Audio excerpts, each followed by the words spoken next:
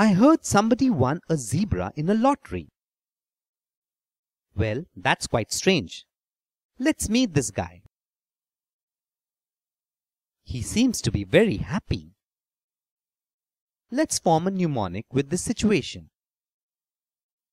A person shows excessive enthusiasm after winning zebra in lottery.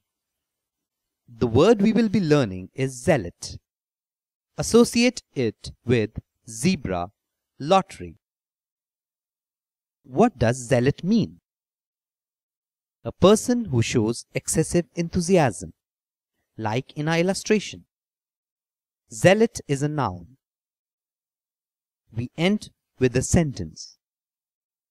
Religious zealots do not understand that like everything, even religion must adapt with the times.